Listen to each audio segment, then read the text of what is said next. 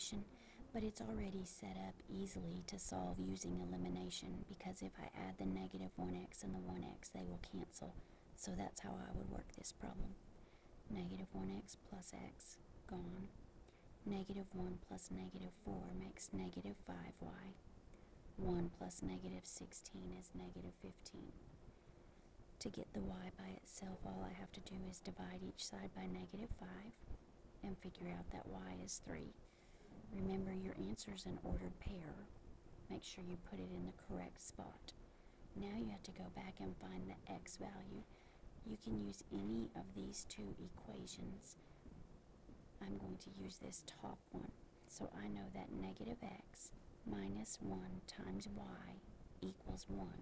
But I'm going to put the 3 where the y was. So now I know negative x minus 3 is 1. And I'm going to solve for the x. So I'm going to go ahead and put the understood 1 in front of this x. I'm here.